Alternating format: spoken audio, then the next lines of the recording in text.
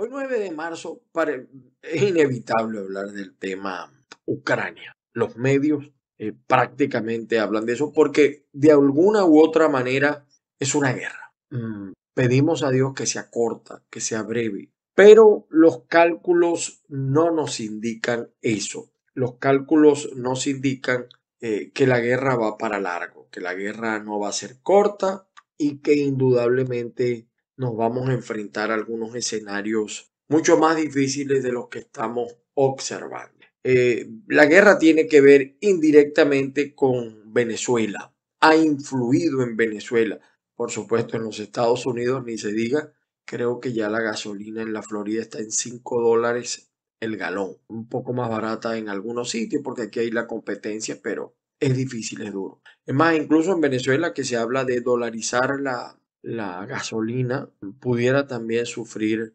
consecuencias esta situación. Pero todo, vamos a decir, se ha precipitado a raíz de la visita de una comisión de los Estados Unidos, del gobierno de los Estados Unidos, con el jefe eh, del régimen, el señor Nicolás Maduro Moro. Nicolás Maduro Moros, que no es el bruto que muchos creen, que no es el estúpido que muchos creen, pero no es el culto, evidentemente. Eh, es un hombre que en, política no valen los títulos, en política valen los hechos. Y de, alguna manera, por cierto, lo dijo Adolf Hitler, que eh, durante el inicio de una guerra, de las conversaciones, etcétera, lo que vale son las victorias. En resumen, lo que vale a la hora de evaluar a un político es el número de veces que ha ganado y el número de veces que ha perdido. No, no, no debiera ser así. Debería evaluarse su gestión como tal, pero lamentablemente los hechos se imponen en todas estas circunstancias. Bueno, lo cierto es que Maduro, yo, la semana pasada yo les decía que estamos en presencia de un hombre que o es muy leal, o es muy leal, o es un loco, o sabe algo que nosotros no sabemos, porque esa defensa de Putin de la causa rusa que ahora vemos cómo ha transitado era extraña sobre. Bueno, ya sabemos lo que pasó. También dijimos en nuestra columna de la reunión del el embajador de los Estados Unidos para Venezuela que está en Colombia con el G3. ¿El G3 quiénes son? Primero Justicia, AD y un nuevo tiempo. un nuevo tiempo que ahora pudiéramos decir que es el primer partido nacional en cuanto a aceptación, muy baja también, muy baja. Todos los partidos unidos, todos metidos en un solo saco, incluso los de María Corina, Ledesma, etcétera, no llegan al 10%, a pesar de que el país es un 90% opositor. Pero la mayoría no se siente representado en estos partidos, pero ellos representan esa parte. Y los demás están como indiferentes. Le sabe, acá sabe, y ahí está. Mientras que el chavismo, representa un porcentaje muy bajo, pero más alto como partido, el PSV. Lo cierto de todo esto es que se da la reunión.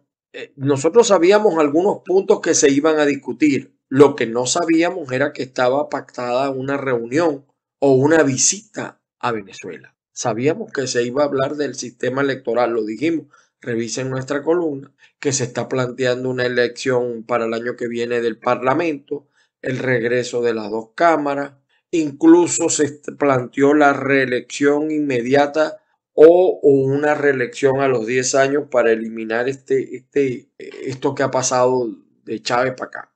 Y se hablaron otros temas de carácter político. Eh, es evidente además que estamos en presencia de una situación mm, interesante. Los defensores del internato, es decir, un gobierno de Internet que es como una especie de dictadura, eh, que tiene intereses y que se están moviendo en contra de una, eh, vamos a decir, beligerancia del régimen. Es decir, este internato se opone a que se reconozca el régimen, pero no es que este internato le ha favorecido a los millones de personas que convocaron hace tres años, para nada. Y todavía hay 298 millones de dólares que no encuentran explicación. Un internato donde se han beneficiado los cuatro partidos del G4 y en especial los del G3, pero ahora se les olvida. Ahora se les olvida. Entonces estamos, e, ese internato tiene defensores. Eh, el señor Alberto Federico Rabel tiene un grupo de medios, él le pagan por eso y él le paga a esos medios. Y fíjense que esos medios no informaron de la reunión para nada. Mientras que ya otros lo anunciábamos, ellos hasta el domingo no lo dijeron. Y ya nosotros el sábado, nosotros y, y varios anunciaban. Porque ese internato financia a varios portales que también aplican censura como la aplica el régimen. O sea, fíjense en medio de lo que estamos los venezolanos. ¿Habrá alguno que piense realmente por Venezuela y no por sus intereses? Probablemente sí. Probablemente no son todos los que están ni están todos los que son. Pero lo cierto es que estamos en ese debate. Hay unos que quieren desconocer esa realidad y otros que luchan porque se reconozca para avanzar. Es una pelea política. Ayer escuchaba yo a Adelsa Solórzano, parafraseando un poco a Henry Ramos Alud, que de inteligencia no se va a morir. Decir que cómo era posible que el gobierno de los Estados Unidos se siente negociar eh, con, un régimen como el de Nicolás, está bañado en sangre, algo así. Y yo decía, pero bueno, Delsa, ¿es malo que lo haga el gobierno de los Estados Unidos, que no es el gobierno de Venezuela, que no vive en Venezuela? Pero es bueno que lo haga la oposición. O sea, ellos critican la reunión con Maduro, pero han estado todo el año, desde el año pasado hasta este, pidiendo el diálogo con la gente de Maduro en México. Fíjense ustedes, tamaña contradicción. Los políticos nacieron para dialogar, pero los políticos tienen características. Los políticos nunca dicen lo que quieren, nunca. Ya cuando es inevitable lo hacen. Y, fíjense que eh, ahora hay un zaperoco porque nadie sabía de la reunión, pero todos sabían. Ahora todos sabían. Por ahí salió otro, otra mujer que tampoco de inteligencia se va a morir, una periodista, no voy a dar su nombre, a decir que Guaidó sabía del encuentro. Mentira, Guaidó no sabía. Los partidos sí sabían. Los partidos, la mejor prueba de que Guaidó no sabía son las declaraciones de Marco Rubio. Porque si Guaidó hubiera sabido, Marco Rubio hubiera sabido. Y Marco Rubio salió a reclamar. No sabía. El primer sorprendido en todo esto es Guaidó.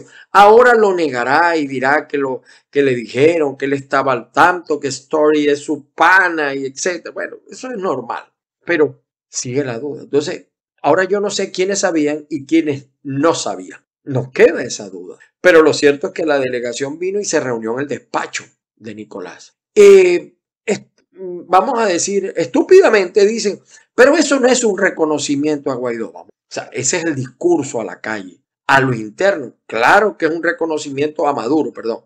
Claro que es un reconocimiento, claro. O sea, eh, hay alguien que se para frente a tu casa y te la invade y te saca de la casa y dice, yo soy el dueño. Y tú estás afuera, el caso de Guaidó. Entonces viene el juez y dice, bueno, vamos a reunirnos con las partes. Ya cuando el juez dice, vamos a reunirnos con las partes, está presumiendo un derecho que a lo mejor no tiene, pero lo está presumiendo. O sea, aquí hay una presunción a favor de Nicolás. Eso se llama beligerancia, es decir, le están dando el tratamiento de jefe de Estado, porque incluso se refieren a él como el presidente Maduro.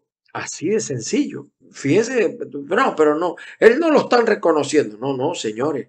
El amor de Guaidó no vale un millón de barriles. Y los Estados Unidos les está diciendo a Maduro, denos PDVSA, nosotros le invertimos los 15 mil millones de dólares, etcétera, pero ya empezamos a producir.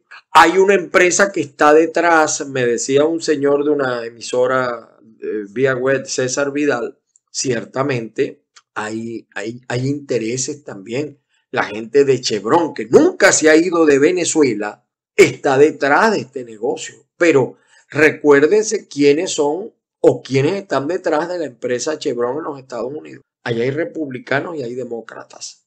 Entonces ellos han liderado este, este proceso. Fíjense que es tanto el zaperoco, el rollo, que ayer el New York Times, que creo que es un periódico bien informado Infobae, que es otro periódico bien informado, vi otros dos, tres de rango internacional, hablaban de la liberación de dos. Y todos los medios, todos los medios que maneja Rabel y compañía, tratan de minimizarlo a uno. No, fue uno, apenas fue uno. Ah, porque ese fue otro cuento. Luego de la reunión, que nunca anunciaron, pero ya, ya los grandes medios pagados por el internato sabían, empezaron a decir, no, no se produjo ningún resultado y no pasó nada y la reunión terminó y no hubo nada yo decía, y mucho, hay que esperar, hay que esperar los resultados. Esto es poco a poco, esto es lentamente. Y fíjese cómo han ido floreciendo algunos resultados y van a esperar más. Porque eh, ¿de qué le sirve Guaidó a los Estados Unidos? No le sirve a los venezolanos porque no mueve la hoja de un árbol, ya no convoca a nadie. Hoy hay una convocatoria de los pensionados. Ojalá no se meta Guaidó porque la empava. Ojalá hoy salga la Venezuela a la calle a pelear por los pensionados, pero el problema sigue siendo el mismo. El problema no es el monto, el problema es el modelo. Entonces, el amor de Guaidó, los Estados Unidos lo tiene tasado en barriles de petróleo. Un millón de barriles no lo vale Guaidó. Por Estados Unidos, mira, vendrán. No, nosotros te reconocemos como presidente y tú eres, eh, tú eres, y te dan la palmadita.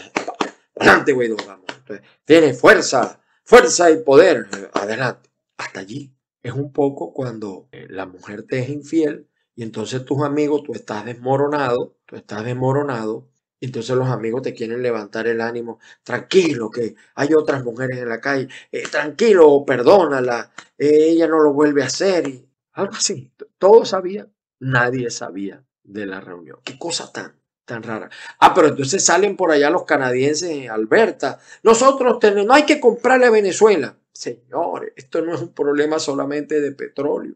Eh, eh, Estados Unidos, que está jugando bien, igual que Putin ha jugado militarmente bien, Estados Unidos sabe que geopolíticamente Rusia, este paso que dio Putin, esto es un paso que tiene años de preparación estudiando el panorama, estudiando los actores, estudiando las condiciones. Geopolíticamente, Venezuela es el norte de América del Sur. Un Putin que ya maneja Salvador, que ya maneja Brasil, que tiene, ya maneja Bolivia, que ya maneja eh, Nicaragua, que pudiera manejar Colombia, claro que le interesa geopolíticamente Venezuela porque con Venezuela, Estados Unidos puede romper esa hegemonía. El problema de nosotros es hasta dónde llega el amor de Maduro. Dice, no, pero es que Maduro no lo va a hacer porque eh, le debe mucho a Putin. Mire, Maduro quiere mucho, poquito y nada. Y como dice también otro refrán, el amor y el interés fueron al campo un día más pudo el interés que el amor que te tenía. ¿Ustedes creen que si le ofrecen a Nicolás quitarle las sanciones, volver al sistema bancario internacional, poder hacer compras eh, para resolver las graves crisis, por lo menos eléctrica que hay en Venezuela, le ofrecen rescatar PDVSA con capital estadounidense a la cabeza Chevron. No, no nos caigamos a coba ante un gobierno de Internet que es solamente un gobierno de Internet. Lo que yo no sé, mañana hay un, un acto de un nuevo tiempo, vamos a ver qué dice Rosales, porque Rosales se ha convertido en la voz de la oposición, más que el propio Guaidó. Y Rosales tiene un preacuerdo con Maduro para aspirar en el 2024. Están hablando, entonces el, G3 le dice a Guaidó, bueno, vamos, y vamos a primarias en el 2023. Guaidó no tiene ninguna posibilidad de ganar esas primarias, no las tiene, porque no tiene maquinaria, porque no tiene estructura y con el chiripero que carga no va a poder. Entonces, detrás de la invasión de Rusia a Ucrania hay otros escenarios. Miren, dos millones de, éxodo de, Ucrania hacia los países vecinos y probablemente, como ha hecho en el pasado Estados Unidos, al, sacarán un lote para los Estados Unidos a estos campos para que las eh, diversas empresas, ahí también hay un capital, diversas empresas que son lo que dicen acá los inmigrantes, los contratos se nutrirán. Fíjense todo lo que, de todo lo que estamos hablando. ¿Sabían o no sabían de esta reunión?